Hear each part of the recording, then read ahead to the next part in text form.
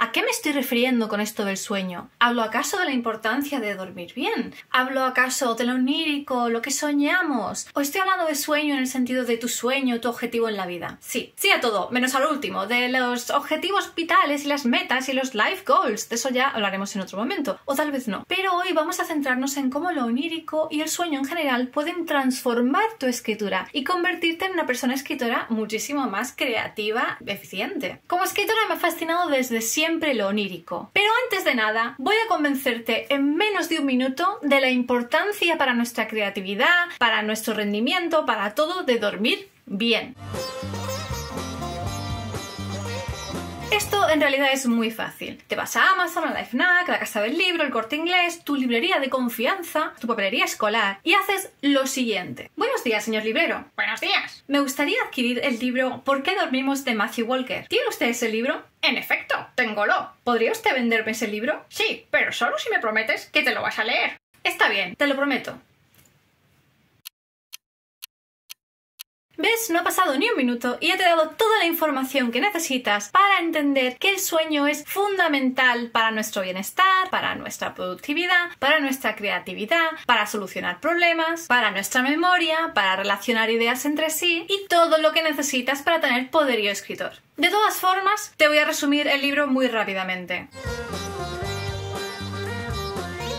Dormir las horas que necesitas más una buena higiene de sueño suelen igualar escribir bien. No dormir las horas que necesitas, no tener una buena higiene de sueño, suele igualar a no escribir bien. Pero tú eso ya lo sabías. Así que superado este punto vital del vídeo, procedamos a hablar de lo onírico. Vamos a ver un montón de maneras en las que podemos aprovechar ese estado extraño en el que nos quedamos como muertos, pero, pero seguimos vivos y nuestro cerebro hace cosas. Eso de quedarnos inconscientes todas las noches o días si trabajas de noche. Vamos a empezar hablando de cómo utilizar el estado hipnagógico y el estado hipnopómpico.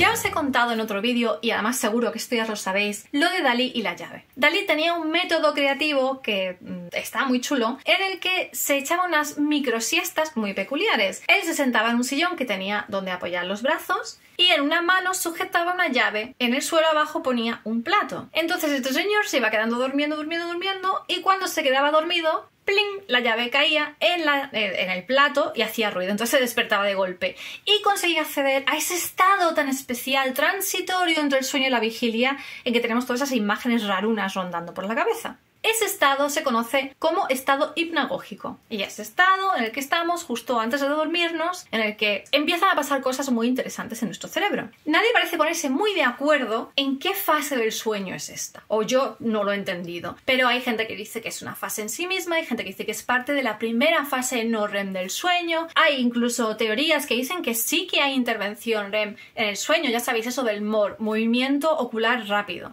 Pero da igual, lo único que tenéis que saber es que es un estado en el que nuestro cerebro empieza a hacer cosas un poco peculiares, las ondas alfa empiezan a bajar, todo está cambiando y empezamos a tener ciertas cosas un poco extrañas. Por ejemplo, muchos habréis visto luces o formas, incluso imágenes. Hay gente que esas alucinaciones las lleva un poco más allá y tenemos cosas que son un poquito menos positivas como la parálisis del sueño y otras movidas. Pero por lo general es ese momento en el que tú te vas a quedar dormido y tienes esas experiencias mm, auditivas, táctiles, visuales, que son un poco extrañas, como por ejemplo el clásico de, uh, me voy a caer por una escalera o me voy a caer un agujero y el cuerpo se despierta, salta. Todo eso forma parte de esa fase. Pero lo interesante es que hay estudios que parecen indicar que ese momento es un momento de creatividad excepcional, ideal para reconocimiento de patrones, resolución de problemas, etc. Y seguro que tú también has tenido un momento de esos que te estabas justo quedando dormido y se te ha ocurrido una idea increíble, una idea excepcional o algo que te tenía atormentando desde hacía días, meses, semanas, de repente lo ves claro, tienes una solución.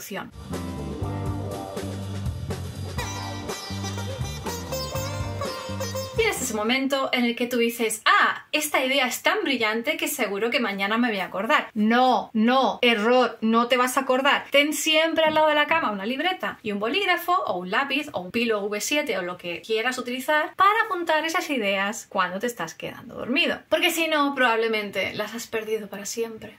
Pero usa una libreta, no uses el móvil, porque entonces las posibilidades de que en vez de acabar contando una idea muy buena, acabes peleándote con alguien en Twitter, suben exponencialmente. Pero aparte de aprovechar ese momento ya natural que sueles tener antes de dormirte, puedes provocarlo tú. Puedes utilizar técnicas de las microsiestas, como lo de la llave de Dalí. Hay gente que se sienta, levanta los brazos y justo cuando se va a quedar dormido, pues se le caen y se despierta en ese momento chulo hipnagógico. Otra forma de hacerlo, que es el que yo creo que es más efectivo, es sentarte contra un respaldo, la pared o lo que sea, ir a dormir y que te despierten tus propias cabezadas. Yo creo que todos hemos tenido ese momento en el sofá en el que estábamos viendo algo, estamos dando cabezadas y no tenemos muy claro si lo que estamos viendo en nuestra cabeza es lo que estamos viendo en la tele, si no es, si hay un entrecruce de realidades ahí que para la acción es maravilloso.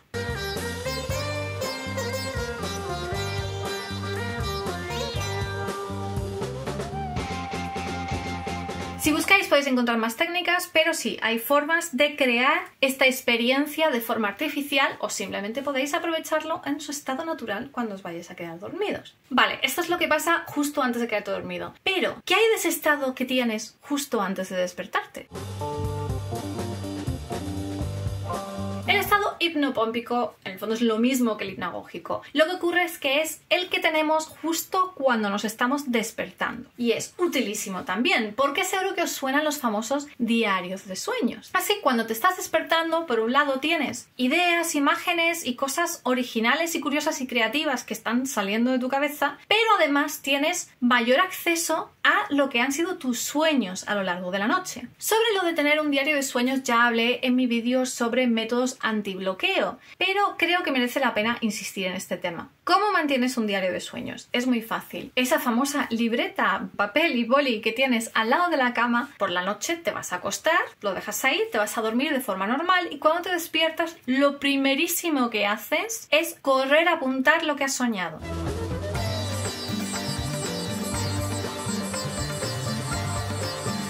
Si no te acuerdas de lo que has soñado, no te preocupes porque cuantas más veces hagas este ejercicio, más vas a recordar tus sueños.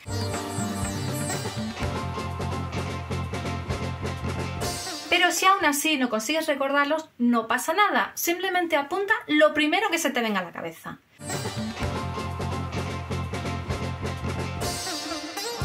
Porque como ya he dicho antes, ese estado mental en el que estás es muy creativo por muchas razones, pero sobre todo porque digamos que el resto de tu cerebro no se ha despertado todavía, tu ego no está en control todavía y tu editor interno aún no se ha levantado. Entonces es el momento genial para soltar todas las chorradas que en ese momento te parecerán tonterías, pero de los que luego puedes sacar asuntos bastante interesantes. Cierto, este ejercicio hay que realizarlo justo cuando te despiertas. Si tú eres de esas personas que lo primero que necesitas hacer cuando te despiertas es ir corriendo al baño, a lo mejor te compensa tener tu libreta y tu boli en el cuarto de baño. Así además todos tus invitados, familiares, compañeros de piso, cada vez que utilicen ese cuarto de baño, podrán tener acceso a lo más profundo y vergonzoso de tu subconsciente y así todos estaréis como más unidos. No se me ocurre que eso pueda tener ningún efecto negativo en absoluto. Ninguno. ¿Y qué haces luego con ese diario de sueños? Hay un montón de cosas que puedes hacer. Lo primero y más importante, yo creo, es aprovechar esas cosas que estás apuntando como ideas, como disparadores creativos para relatos, para capítulos de novela, para microrelatos, para poemas, lo que quieras. Esa sería su función primera. Luego vamos a ver que tiene muchas más funciones. Pero antes vamos a ver otras maneras de aprovechar lo que es el sueño. Si tú eres de esas personas que en mitad de la noche se despiertan sin más y luego te cuesta dormir, pues aprovecha para escribir. Es que estás en uno de esos estados recién salidos de lo hipnagógico, hipnopómpico, lo que sea, momento perfecto para escribir. Aprovecha ese estado de creatividad extra y además en silencio, la falta de interrupciones. Ya que no puedes dormir, pues bueno, por lo menos le sacas algún provecho. Y por supuesto, no dejes de utilizar los beneficios del sueño en completo. Hemos hablado de los estados intermedios, pero uno de los tiempos más importantes de tu vida diaria es la fase red, es la que están pasando todas las cosas más importantes todo lo que haces mientras estás tumba en la cama por la noche. Estas fases de sueño están relacionados con eh, la creación de recuerdos, con el aprendizaje y también con el procesado de emociones y resolución de problemas. Sí, en esa fase nuestro cerebro está haciendo de todo, así que ¿por qué no aprovechas y le das una tarea extra? Si tienes algún problema específico de trama, complicación de escritura que quieres resolver, antes de dormir, dale unas vueltas para que se quede ahí y que tu cerebro trabaje por la noche. Mejor aún, aprovecha el efecto Tetris. Si alguna vez has jugado al Tetris mucho antes de dormir, te sonará eso de que cierras los ojos y lo único que ves son formitas geométricas colocándose como si estuvieras jugando al Tetris. Esto no solo pasa con el Tetris, pasa con muchas actividades que hacemos de forma repetida, sobre todo si las hacemos antes de dormir puedes hacerlo con la escritura. Es por esto por lo que mucha gente le gusta escribir justo antes de dormir, que sea lo último que está procesando tu cabeza, porque entonces tienes ese rato de trabajo extra que está haciendo tu cerebro por ti mientras estás durmiendo. Esto pasa no solo con el Tetris, sino con muchas actividades que realices a menudo o y antes de caer en brazos de Morfeo. Es por esto por lo que yo, por ejemplo, prefiero no ver series o películas muy dramáticas, muy trágicas justo antes de dormir, porque noto que afecta luego mi estado de ánimo durante la noche e incluso al día siguiente. Es por esto por lo que muchas veces no consumimos pelis de miedo justo antes de dormir, porque luego podemos tener pesadillas. Después de que tú hayas escrito, tu querida cabeza sigue trabajando en ello mientras duermes. Sé que esto puede ser problemático para personas que tengan insomnio o sufran de ansiedad y que prefieren no estar dándole vueltas a cosas justo antes de dormir que puedan impedir que concilien el sueño. Si este es tu caso, te propongo una alternativa. Búscate algo bueno de lectura, o sea, de calidad, porque así estás leyendo, lo cual probablemente te ayude a quedarte dormido, pero además tu cerebro está trabajando en reconocer patrones y aprender estructuras de lo que es escribir bien y todo eso pues lo estás asimilando para poder utilizarlo al día siguiente que ya si te pones a escribir nada más levantarte, pues ya maravilloso, pero eso ya implicaría que vivimos en un mundo en el que tenemos todo el día y todas las horas para escribir, lo cual por un lado sería maravilloso, pero también creo que sería un poquito agobiante. Eso sí, tampoco leas nada demasiado emocionante justo antes de dormir, porque si no acabas como cuando somos niños y estás a las 5 de la mañana con el libro que engancha como sus muertos, con la linternita por debajo de la colcha para que tus padres no te pillen. Sí, esas cosas que solo nos pasan de niños. Pero los beneficios del sueño no acaban aquí, porque para mí la parte favorita es aprovechar toda esa información que hemos sacado luego, todo eso de los diarios de sueño, para nuestra retórica personal. Es decir, vamos a ver los recursos literarios del sueño. Incluso si tú escribes realismo, de la textura y las imágenes del sueño se puede aprovechar muchísimo. Los sueños son recursos geniales para observar escenarios muy originales, situaciones inesperadas, paisajes extravagantes y por supuesto elementos fantásticos y surrealistas que luego puedes incorporar más o menos en tus textos. Claro, tienes que apuntarlo todo antes, de ahí lo de la importancia del diario de sueños. Y es que hay imágenes y situaciones que vas a ver en tus sueños que desde luego no vas a encontrar en la vigilia y que puedes adaptar para tus textos, ya sea de forma directa metiendo elementos mágicos y fantásticos o como elementos descriptivos y metafóricos o de comparación. Además, en los sueños vivimos emociones muy intensas que no son las que vivimos habitualmente. Podemos tener experiencias nuevas que luego podemos utilizar en nuestros textos y sobre todo esas emociones que pueden ser tan tan vívidas y tan intensas y por tanto podemos recordarlas mucho mejor y describirlas mucho mejor una vez que ya han pasado por el filtro de nuestra conciencia.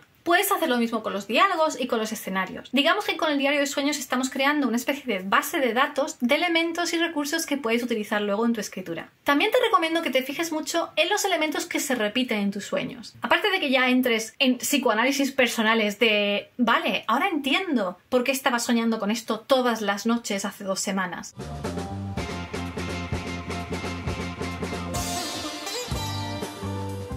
De eso, también es muy útil para encontrar tu simbología particular, tu imaginario personal. Si ves que hay elementos que se repiten, si son, sobre todo si son elementos simbólicos, estos puedes integrarlos en tu obra. Si combinas estos símbolos, estos elementos de tus sueños con los elementos reales de tu texto, o sea, del realismo de tu texto, puedes crear una experiencia de mayor profundidad, puedes crear diferentes niveles de sentido. Por ejemplo, si yo sueño mucho con cisnes, el cisne puede convertirse en un elemento recurrente en mi obra. Parece una tontería, pero al ser símbolos que vienen de nuestro subconsciente, pueden ser detonadores psicológicos, creativos, para desarrollar una creatividad y una textura especial que solo van a tener nuestros textos.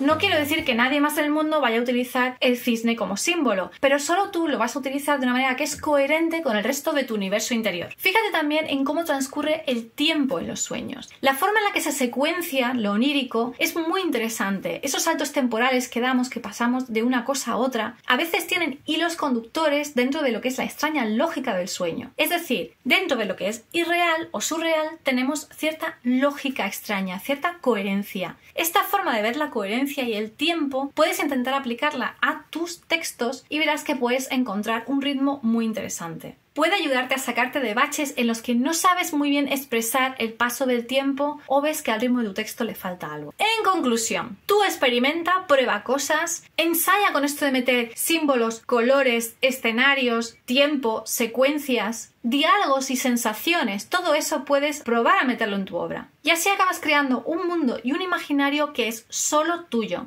Puedes enriquecer tus textos con algo que es profundamente personal, con un estilo y una voz realmente propios.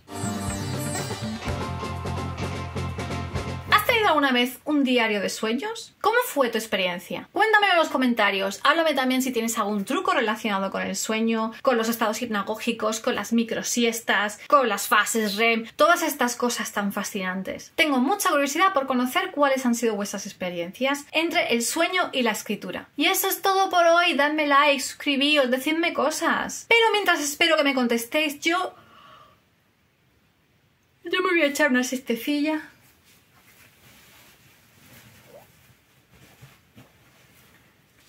Aquí con el señor librero. Mm, buenas noches.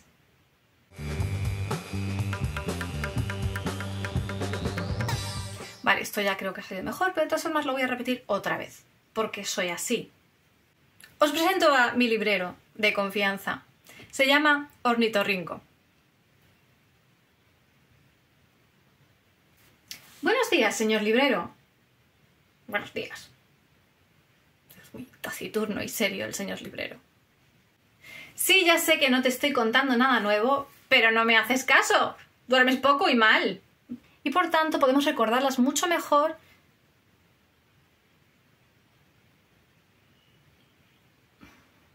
y describirlas mucho mejor una vez que ya han pasado por el filtro de nuestra conciencia.